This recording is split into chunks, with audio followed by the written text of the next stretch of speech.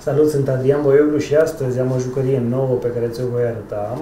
Este un device pe care îl așteptam de ceva vreme. Am mai testat uh, jucării, device-uri de la Xiaomi România, dar de această dată e ceva ce cred că oricare dintre noi poate să aibă, oricare dintre noi poate să folosească și mai ales să se bucure de facilitățile acestui produs.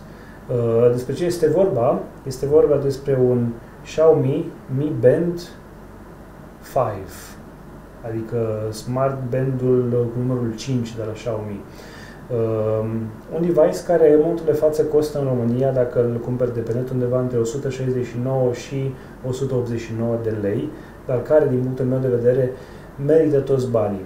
Am găsit plusuri și minusuri pe care le-am constatat în uh, aproximativ o săptămână de folosire a acestui device. Uh, disclaimer este primit de la Xiaomi România, dar ei nu mă pun să spun de bine sau de rău, ci mă lasă să am un, uh, un uh, review sau, știu, un, uh, să-mi spun părerile onest și asta și voi face. Sunt chestii bune și chestii rele la acest device. Uh, chiar și așa, spoiler alert, uh, îl recomand. Îl recomand pentru că îmi îmbunătățește viața, ba chiar mă gândesc uh, în timp dacă aș reuși, ceea ce n-am reușit până acum niște mulți ani, să trec la un device de genul acesta mai sofisticat, poate un Apple Watch. Uh, trebuie să încep prin aceea că eu timp de nu știu, mai bine de 15-20 de ani nu am purtat un ceas. Nu am purtat un ceas pentru că nu pot să port la mână brățări, ceasuri, inele, eu știu, zorzoane de niciun fel. Chestia asta m-a împiedicat până acum să port un ceas.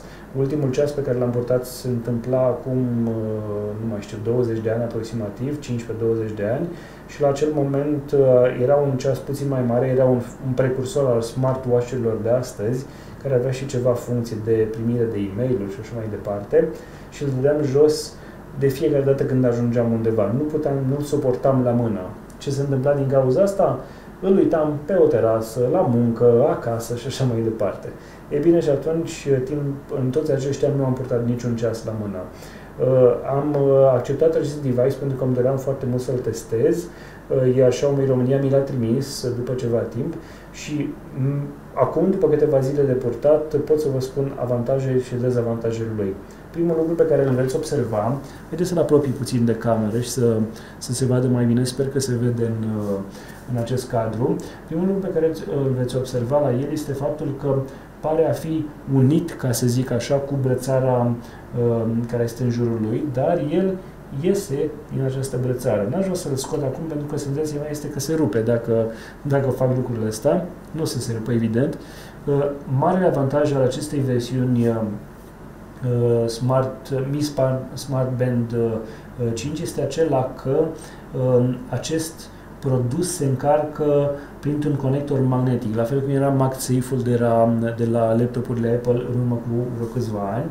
Are pe spate aici doi conectori și poți să-l pui uh, să se încarce prin simpla apropiere acelui conector magnetic nu știu cât se văd acești conectori în spate, e ok așa, acești conectori, prin simplu apropiere acelui, uh, acelui conector magnetic, uh, își găsește singur poziția și reușește să se conecteze și să se încarce. Se încarcă relativ repede, de experiența mea undeva la, eu știu, câteva ore, iar bateria ține destul de bine. Pe spate mai avem uh, niște senzori,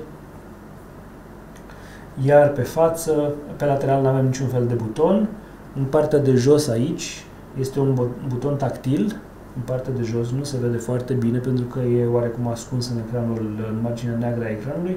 După aceea avem display-ul, um, display respectiv. Um, e destul de simplu, o cataramă obișnuită, ca să zic așa, cu niște găurele, iar în partea asta avem un conector la fel care um, intră în această cataramă Haideți să vă arăt cum stă pe mână. Apropo, din punctul ăsta de vedere, mi s-a spus că uh, este mai potrivit poate unei doamne sau domnișoare, pentru că este destul de subțire din punctul ăsta de vedere. Nu știu dacă este neapărat cea mai bună alegere pentru un domn, nu știu cât se vede aici.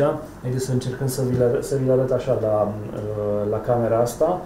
Uh, este destul de subțire, dar fiind negru, simplu și elegant, din punctul meu de vedere, este suficient de ok chiar și pentru, pentru un bărbat, mai ales că își face treaba. Am să-l dau de la mână pentru că Vreau să trecem la camera asta să se vadă puțin mai bine și să vă arăt puțin ce, ce are el prin meniul lui. Um, este un, uh, un ceas care, uh, a cărui baterie ține destul de mult. Am să încerc să mă uit aici. Nu văd eu foarte bine cât are acum, pentru că am și lumine din studio, dar cred că are undeva la 30-40% după aproximativ 5 zile de purtat uh, în continuu și cu toate setările brightness, luminozitate, contrast și așa mai departe, toate sunt la maxim. Um, în meniul ceasului, pe, pe fața principală pe care eu am ales-o, vei vedea pe de o parte ceasul, e ora 7.39 de față, câți pași am făcut în uh, ziua asta, adică 2096, care este ritmul cardiac, uh, pulsul 79, iar în partea de sus se arată că este PM, Monday 07, este ziua de 7 septembrie. Trecem mai departe, ca să vedem ce altceva mai avem. Vremea, în Constanța, unde ne aflăm acum, 26 de grade Celsius, minima și maxima zilei, dar și umiditatea de 70%. Aici un player pentru muzică și diferite alte mesaje pe care poți să le primești. Bun, dacă dăm în jos, avem funcția more cu Do Not Disturb, alarmă, cameră și muzică. Ce înseamnă asta? Do Not Disturb înseamnă că poți să-l setezi ca în anumite momente să nu, pur și simplu să nu te deranjeze. Alarma, evident poți să spui ceasul să, să sune și să-ți bâzi ușor la mână să te trezească dimineața. Camera, am să dau pe camera, ai un buton de declanșare pentru camera telefonului și asta merge și cu iPhone și cu un device cu Android. Uh, și music, poți să-i dai play sau uh, pause pentru, pentru muzică sau melodie următoare și asta merge și cu um, Spotify, Apple Music sau alte aplicații de genul acesta. Workout, între aici ai uh, outdoor running, treadmill, cycling, indoor cycling și walking, elliptical și rowing machine.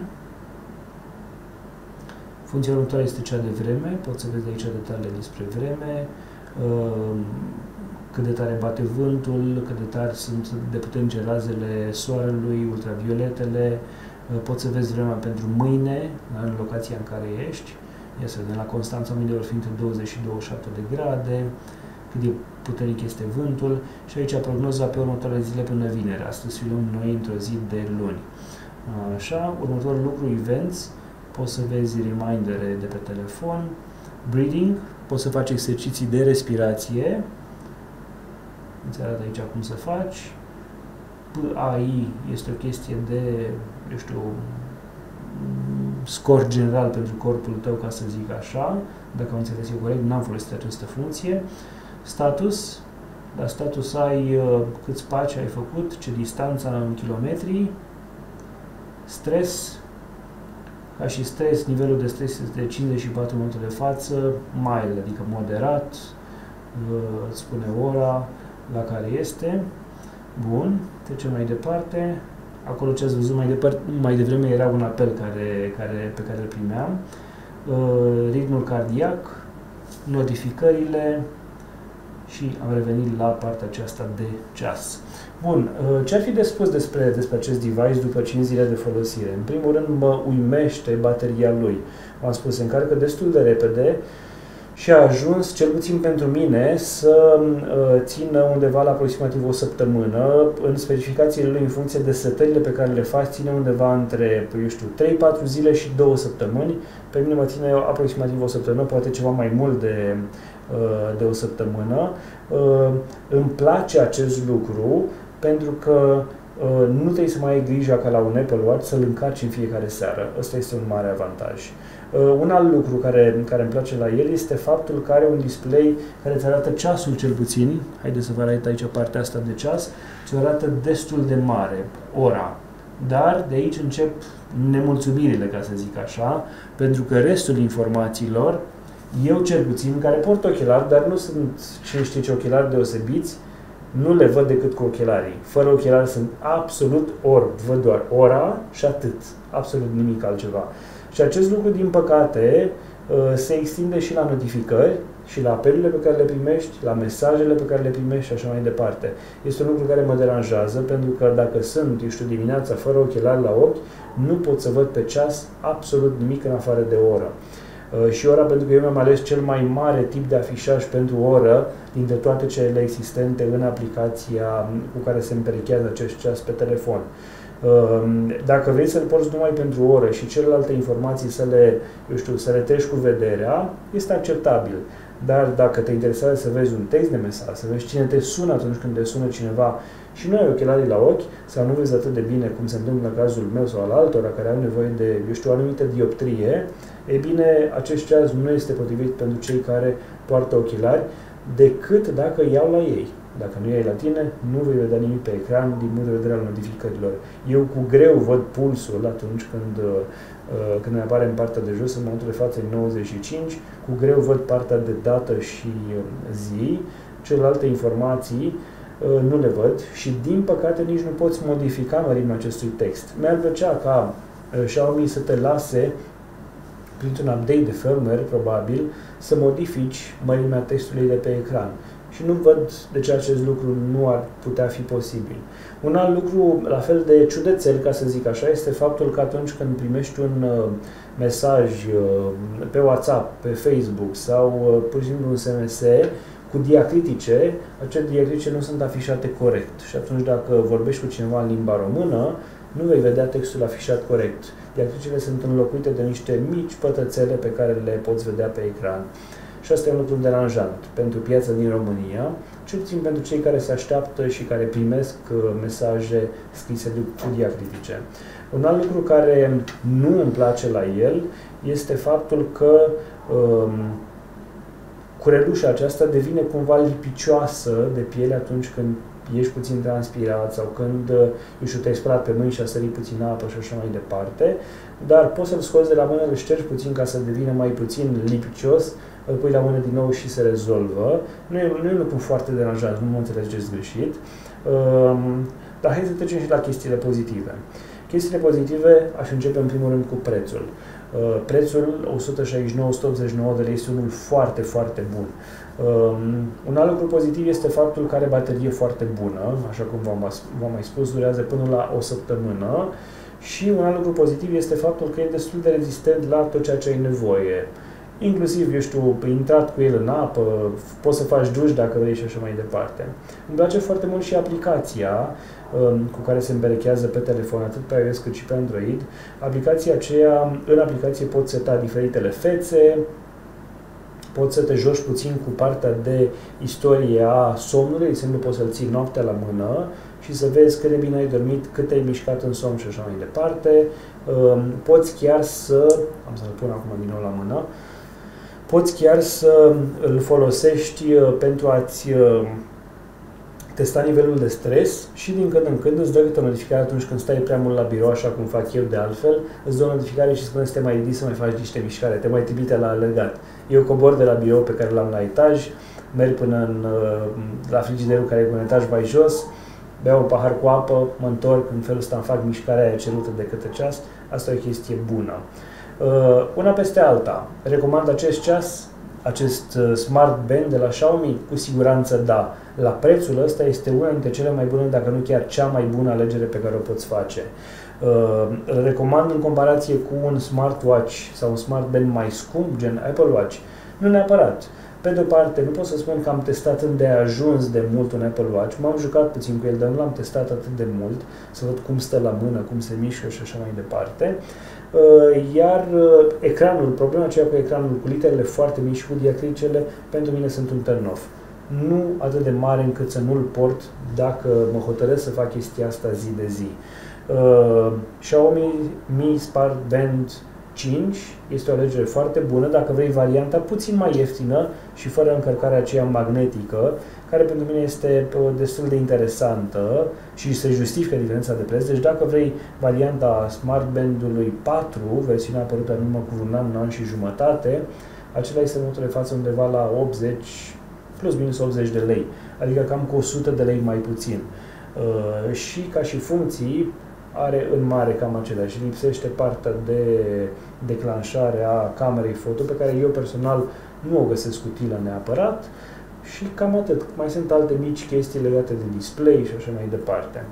una peste alta un device bun pe care îl recomand, pe care eu personal l-aș folosi și care mă ajută, unul, să monitorizez somnul, să mă ridic din când în când de la birou atunci când este cazul, dar și să mă bucur de, eu știu, vă spun un amănunt care mie mi s-a părut interesant. Atunci când te trezești dimineața, nu piuie, nu face gălăgie, ci doar îți dă o simplă vibrație pe mână. Și asta este un lucru foarte bun pentru că nu-i trezești pe ceilalți din casă, cei, nu știu, soția sau soțul tău, atunci când ai de, să, trezești, ai de să te trezești la o oră de vreme.